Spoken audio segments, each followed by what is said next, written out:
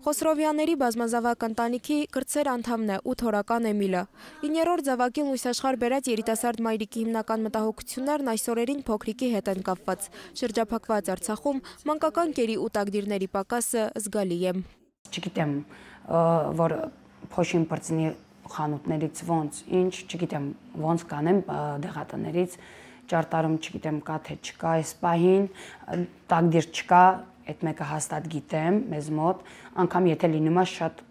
կարճ ժամկետում պրսնում է, այն էլ սկի բլոկով չեն տալիս։ Նախքան 9-րդ բալիկի լույսաշխար գալը Արևիկը երեխաներից Ռոբերտի եւ Սվետայի հետ մի քանի օրով տեղափոխվեց Ստեփանակերտ, մայրիկի մոտ։ Ճարտարում ամուսնու հետ միասին մնացին մյուս 6 բալիկները։ Վարելիքի պատճառով Արևիկի ամուսինն անգամ բալիկին ծննդատնից դուրս գրելու օրը չկարողացավ ճարտարից Ստեփանակերտ հասնել։ Արևիկը 3 բալիկի հետ մի քանի օրից տուն կգնա։ Տանը իրենց սպասող 7 անդամին 3 տարեկան Սվետան ամենաշատն է կարոտել։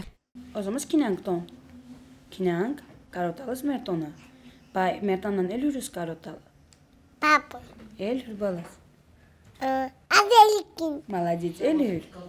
Գազիկին։ Օկուպացված Խաշաթաղից Հայաստանի Հանրապետություն, վերջում Արցախի ճարտար քաղաք նորից Խաշաթաղ վերադառնալու մեծ հույսով։ Խոսրովյաների բազմազավակ ընտանիքի անցած դժվարին ճանապարհն է 2020 թվականի պատերազմից հետո։ Հայաստանում մնալ չցանկացան։ Մեկ տարին բավական էր հասկանալու, որ Արցախից բացի աշխարհում ուրիշ լավ տեղ չկա։ Ասում էին մնացեք սերտիֆիկատ կտանց երկու տուն եկորցե, ասի չէ։ Մեզ ոչ մի բան պետք չի թոթեկոզ գետնին երեսին երկու սենյականոց տուն տան, ես այդ գնում եմ Ղարաբաղ ու կապ չունի որտեղ։ Այդ Արցախ եմ գնում։ Քաշաթաղի շրջանի Հերիկը գյուղ Խոսրովյանների ընտանիքը 4 զավակի հետ միասին տեղափոխվել էր Շուշիից։ 4 զավակներն էլ Հերիկում ծնվեցին։ Գյուղում ունեցած երկու տնից ընտանիքը գրեթե ոչինչ անել չկարողացավ։ Այնտեղ երկու տուն ունեինք, մեկը որպես վերաբնակիչ, որ Շուշիից տեղափոխվել էինք, 4 երեխա ունեինք այն ժամանակ, տուն էին տվել։ Իսկ մյուսը բազմազավակի տուններ, նոր էին սարքել, դեռ ճիշտն ասած դեկտեմբեր ամսին մտել ենք այդ տուն, սեպտեմբեր ամսին արդեն 27-ին պատերազմը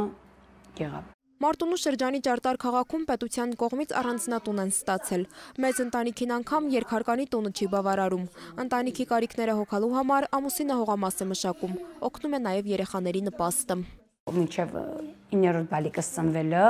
5 տղաներս մի սենյակում էին տեղավորվել, երկու մահճակալի վրա, երկու-երեք աղջիկներս մի մահճակալի վրա, մի սենյակում։ 8 հորական Էմիլի համար խնամքի միջոցներ անգամ մանկական մահճակալ չեն կարողացել գնել երիտասարդ ամուսինները։ Նորածին բալիկի համար ժամանակավոր տարբերակն ունեն։ Կփորձեմ մոտս պահել մեր կառավատին, մեր մահճակալին, սենց ասեմ մի որոշ ժամանակ միջև որ կտնենք ինչ իմանամ համենայն դեպս այդ հնարավորությունս այդ չեմ սոց չեմ ասի Հյուրերին զինվորական հագուստով է դիմավորում եւ ճանապարհում Արցախի հերոս Ռոբերտ Աբաջյանի անունը կրող 5 տարեկան Ռոբերտը։ Փոքրիկ Էմիլն էլ Արցախյան երրորդ պատերազմում զոհված հորեղբոր անունն է կրում։ Ես մտածում եմ ու նույն ձև երեխաներից, որ ամեն առավոտ ելնում են, պետքա կապ չունի տղա թե աղջիկ երեխա։ Նրանք պետքա հասկանան, որ այսօր որ ապրում ենք, այսօր որ թեկոզ մի քիչ խաղաղություն կա, մենք այդ տղերքի շնորհիվ ենք ապրում։ Շրջափակման 53-րդ օրը Արցախում Արցախի լինելնու հարատևությունը խորհրդանշող նոր մանուկներ են շարունակում ծնվել։ Հույսի միշող բոլոր հուսահատ ընտանիքներին իրենց ծնունդով տալիս են Էմիլն ու իր նման հարյուրավոր բալիկները։ Փորձում ենք լավատես լինել, ամփերատար ենք, երբևիցե մտքներովս չի անցնում, ինչ որ ճանապարհ բացվի, դուրս գանք, ցանկություն էլ չունենք։ Արմինե Պետրոսյան, Դավիթ Հակոբյան, Օրլրատվական։